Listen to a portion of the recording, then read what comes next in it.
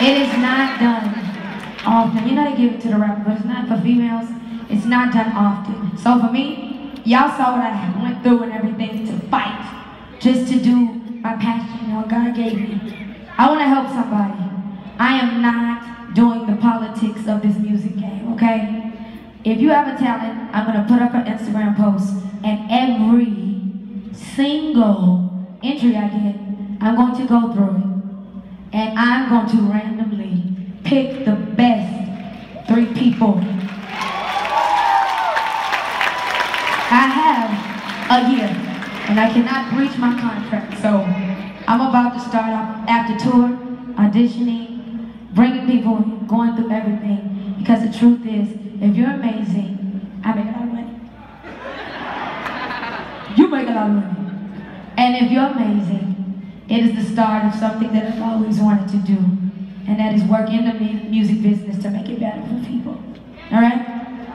And season three of K Michelle My Life is here today.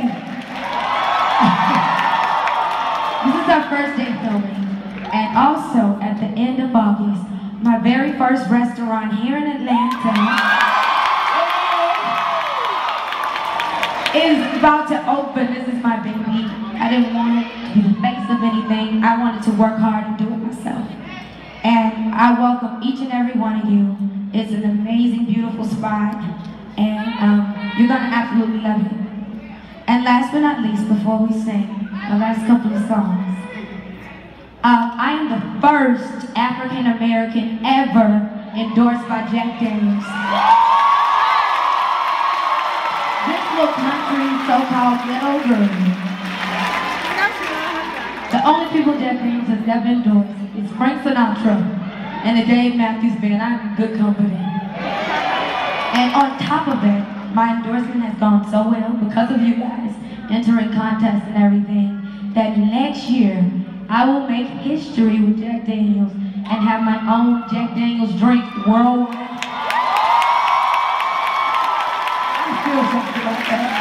So everything I'm telling you this to say, there, there's never a time where I can be mean to you or to brush you off. I do get tired, but you know, y'all know. I go out of my way for my fans because I wouldn't be able to do anything.